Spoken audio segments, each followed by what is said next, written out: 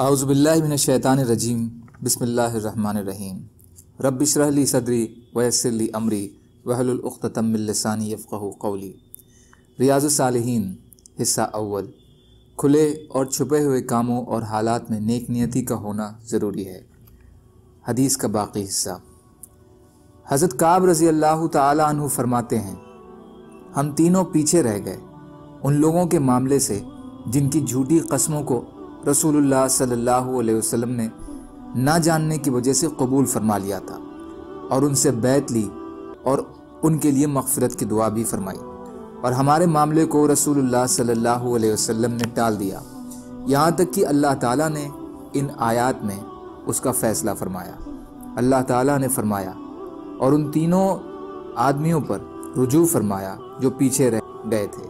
یہ جو پیچھے رکھے جانے کا ذکر ہے تو اس سے مراد ہمارا غزبے میں پیچھے رہنا نہیں، بلکہ اس کا مطلب ہمیں پیچھے چھوڑ دینا اور ہمارے معاملے کو ان لوگوں کے معاملے سے ٹال دینا ہے، جنہوں نے آپ کے سامنے حلف اٹھایا اور بہانہ پیش کیا، جسے آپ نے ان کی طرف سے قبول فرما لیا۔ متفق علیہ۔ اور ایک دوسری روایت میں ہے، نبی صلی اللہ علیہ وسلم غزوہ تبوک کے لیے جمعرات کے دن نکلے اور آپ جمعرات کے دن سفر کرنا پسند فرماتے تھے۔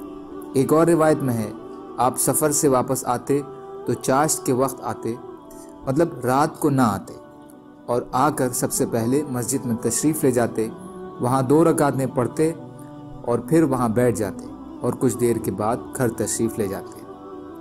فائدہ۔ اس حدیث میں نصیحت کے بہت سے پہلو ہیں، جن میں سے کچھ ایک یہ یہ ہیں۔ پہلا، مسلمان کو ہر حال میں سچ بولنا چاہیے۔ چاہے اس کی وجہ سے تاتکالک روپ سے تکلیفوں اور آزمائشوں کا سامنا کرنا پڑے، کیونکہ آخر میں اللہ کی رضا سچائی ہی میں ہے۔ دوسرا، کپٹیوں والے رویے سے بچا جائے کہ اس کا انجام بہرحال ہلاکت اور بربادی ہے۔ تیسرا، سختی اور تنگی کے باوجود خوشی خوشی جہاد فی سبیل اللہ میں حصہ لیا جائے۔ چوتھا، دوسروں کو نصیحت کے لیے غلطی کرنے والے نشٹھاوان مسلمانوں کا سماجک بائیکاٹ جائز ہے تاکہ سماج میں گناہ اور غلطی کی حوصلہ شکنی ہو۔ پانچواں، دین کے معاملے میں جو تکلیفیں آئیں، صبر مضبوطی سے انہیں برداشت کیا جائے۔ چھٹا، تمام مال کا صدقہ کرنا پسندیدہ نہیں ہے، اپنی ضروریات کے لیے بھی اپنے پاس مال رکھنا ضروری ہے۔ ساتواں، خوشی کے موقع پر مبارکباد دینا۔ اور مبارکباد دینے والے کو ہدیہ اور انعام دینا جائز ہے۔ آٹھواں، توبہ کی توفیق بھی اللہ کا انعام ہے، جس پر اس کا شکر واجب ہے۔ نواں، عہد کو پورا کیا جائے۔ حضرت ابو نجید نون پر پیش اور جیم پر زبر۔ عمران بن حسین خزائی رضی اللہ تعالیٰ عنہ سے روایت ہے کہ جو ہے نا قبیلے کی ایک عورت رسول اللہ صلی اللہ علیہ وسلم کی خدمت میں حاضر ہوئی۔ وہ زنا کی وجہ سے حاملہ تھی اس نے آ کر کہا، یا رسول اللہ، مجھ سے حد والے گناہ کی غلطی ہو گئی ہے۔ آپ مجھ پر حد قائم فرما دیجیے نبی صلی اللہ علیہ وسلم نے اس کے ولی یعنی وارث اور قریبی رشتہ دار کو بلایا اور فرمایا، اس کو اچھے طریقے سے اپنے پاس رکھو اور جب یہ بچہ جن لے، تو اس کے بعد اس کو لے آنا۔ چنانچہ اس نے ایسا ہی کیا۔ اللہ کے پیغمبر نے حکم دیا اس کے کپڑے اس پر مضبوطی سے باندھ دیے گئے۔ پھر آپ کے حکم پر اسے رجم کر دیا گیا۔ پھر آپ نے اس کی نماز جنازہ پڑھائی۔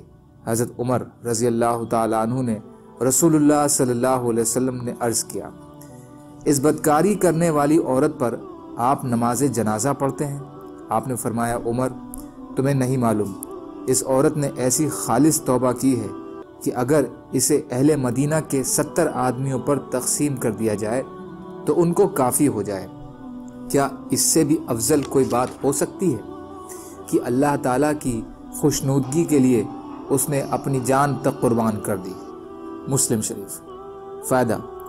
اس میں ایک تو حد رجم کا سویکرن ہے۔ دوسرے، خالص توبہ کی افضلیت ہے۔ تیسرے، صحابہ اور صحابیات رضی اللہ تعالی عنہم کے اللہ کے خوف کی بھاونا اور محاسبہ آخرت کا بیان۔ اور ان کا اخروی سزا کے مقابلے میں دنیا کی سزا کو ترجیح دینا ہے۔ چوتھا مرتقب کبیرہ کی نماز جنازہ جائز ہے۔ بشرطے کہ وہ اسے حلال سمجھ کر نہ کرے، کیونکہ اس صورت میں اندیشہ کفر ہے۔ پانچواں، حاملہ عورت کو اس وقت تک سزائے رجم نہیں دی جائے گی جب تک بچہ نہ ہو جائے اور بچہ اس کے دودھ سے بے نیاز نہ ہو جائے۔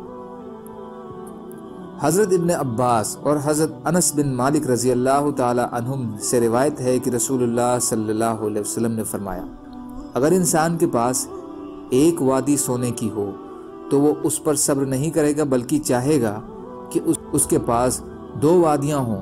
اس کا منہ تو قبر کی مٹی ہی بھرے گی اور اللہ تعالیٰ اس پر رجوع فرماتا ہے جو اس کی طرف رجوع کرتا ہے۔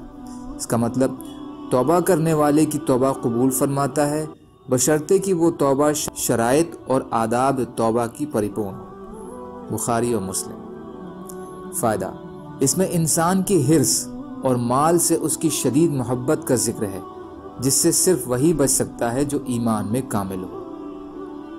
حضرت ابو حریرہ رضی اللہ تعالیٰ عنہ سے روایت ہے کہ رسول اللہ صلی اللہ علیہ وسلم نے فرمایا، اللہ تعالیٰ دو آدمیوں کو دیکھ کر ہنسیں گے۔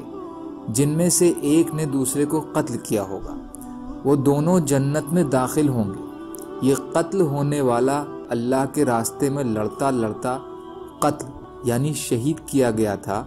پھر اللہ تعالیٰ نے اس کافر قاتل کو توبہ کی توفیق دے دی اور وہ مسلمان ہو کر اللہ کی راہ میں شہید ہو گیا۔ بخاری و مسلم۔ فائدہ۔ توبہ سے بڑے سے بڑا گناہ اور قبول اسلام سے پہلے کے تمام گناہ معاف ہو جاتے ہیں۔ ہنسنا بھی اللہ کی ایک وشیشتا ہے، جس پر ایمان رکھنا ضروری ہے۔ مانو، اس کی کیفیت سے ہم اوگت ہیں، نہ اوگت ہو سکتے ہیں۔ سبحان اللہ و بحمدہ، سبحان کا اللہ و کا شد اللہ الہ الا انت، استغفرک و اتوب الیک۔ سبحان ربک رب العزت اما یصفون، وسلام علی المرسلین۔ والحمد للہ رب العالمین۔ برحمتك يا أرحم الراحمين. لا إله إلا الله محمد رسول الله.